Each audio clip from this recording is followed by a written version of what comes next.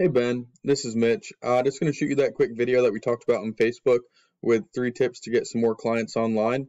So we'll talk about three things today, content, backlinks, and citations. And we'll take a look at your website and then three of your competitors, see what they're doing and how you can beat them. So the first thing is Google likes to see about a thousand words of content on a home page. And that's really just, you know, anything that I can highlight. And Google can actually read what you save your images as. So you want to make sure that you're um, Bulger Brothers Landscape Winnipeg near me. Um, it's not bad. Uh, you know, better than just a bunch of letters and numbers, but we want to try to save those as keyword intent phrases. Um, that way we can uh, start ranking for those keywords too. You definitely have a little bit of content, but could use a little bit more. I really do like these sliders. I think that they really do help people get a good picture of what you know is going on. So I just look at adding some more content to your homepage with the right keywords, and we'll talk about those keywords in a minute. So here's some of your competition. Um, you know, they have a little bit more content, but you could still beat them pretty easily with about a thousand words. Um, yeah, they have a lot more. So you'd have to, we'd have to see how many words they have here. And whatever they have, uh, you'd want to have more than them in order to outrank them.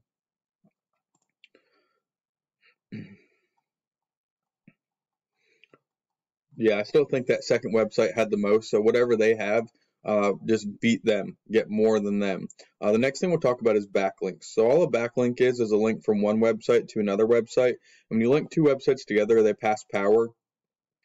Um, so not all backlinks are created equal. You want to go after more powerful backlinks. So on Ahrefs, one of the paid tools I use, they rank websites with UR and DR. We like to see these two numbers here as close together as possible and as high as possible, and that makes it a more powerful website. So right now you have 51 backlinks coming from one website. Um, and you don't have any power. I'm going to take a guess and say that's either because this, I mean, we can take a look and see, um, either doesn't have any power coming to it. Yeah, there's no power at that website. And also you might not be registered on the uh, Google Search Console. Um, we'll take a look here at Classic Landscape. Um, they have 27 almost 28,000 backlinks from 629 websites. They have a pretty powerful website. You'd like to see this number a little bit higher, uh, but the good thing is, is we can actually go in and take a look and see where they're getting all of their links from. And um, see like this one right here with zero power and 13,000 links. Uh, that's that's spammy. We don't want that. So um, you know, all these other links, go after those same links because if it put them on the first page of Google, it'll put you there too.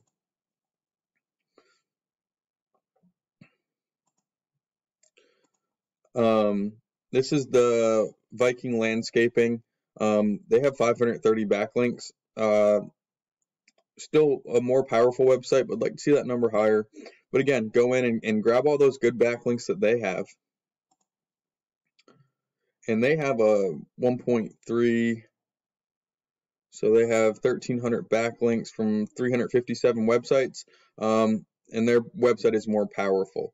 Um, to give you an idea of what building all that power will do for you, we'll take a look at some keywords. So right now, your website ranks for one keyword, um, Bulger Brothers, and if that is in the 37th position, so you're on the fourth page of Google for that uh, search term. So we'll take a look here at Classic Landscape. this column right here is the search term on Google. And this column right here is the average monthly search volume. And this right here, this column right here is the KD or the keyword difficulty. This tells us how hard and how long it's going to take to rank for that keyword. So these are the keywords that you want to add into your content. And then once you make your website powerful by pushing those powerful backlinks to it, you're going to start ranking for these keywords. Um, and you can see here, uh, Winnipeg landscaping is searched on average 700 times a month. Has a 19 KD, and this website's in the sixth position, and they're bringing in 58 clicks a month on it. So just getting on that first page, you're going to start seeing a huge increase in traffic coming to your website. Uh, but landscaping Winnipeg is searched 1,500 times a month with an 11 KD. So it's a, a less difficult keyword if you just word it this way, and you get a lot more search volume. Uh, the best thing to do is go after those high volume, low KD keywords. Um, and it just takes a little bit of time to go through and, and see which keywords you want to rank for. Uh, you can see here that they rank in the number one spot for landscaping Winnipeg, and they're bringing in an average of 380 clicks a month onto their website.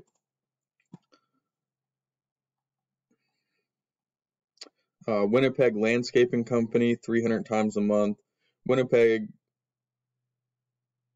I don't know if there's a difference there. um, landscape Design Winnipeg. So you can see that just the different ways that people search things are going to make things show up differently. Um, they're in the second position for landscaping Winnipeg, or sorry, they're in the fourth position for landscaping Winnipeg, and they're getting 109 clicks a month. Uh, so you can see that once you push those backlinks to your website and you have the right keywords on your page, uh, you're going to start ranking for these and you're going to start bringing in a lot more traffic. Uh, the last thing we'll talk about is citations, and all a citation is is um, a way to rank your Google My Business. So if you want to show up when someone searches landscaping company Winnipeg and you want to be in this top three of the map pack, you have to have your Google My Business completely optimized and have as many reviews as possible. Uh, you want to have more pictures than everyone else, and you want to make sure that they have a 750 character description um, right here. You want to make sure that you're using all 750 characters. Uh, you don't want to just write two sentences in there like this. Uh, basically, if Google gives you a spot to put information, you want to fill it out all the way. Um, then you can go after citations, and all a citation is is name, address, and phone number listed in as many online directories as possible. Those are like Yellow Pages, Yelp, and there's hundreds that you've probably never heard of. And a lot of times those directories are also going to give you a spot for a backlink as well. So you can work on citations to rank in the Google Map Pack, and then you can also get your um, work on your backlinks so that way you can build power and you can rank in the um, in the organic section of uh, the Google search. So if you have any questions about any of this or you need help implementing any of it, feel free to reach out to me. I'd be more than happy to help.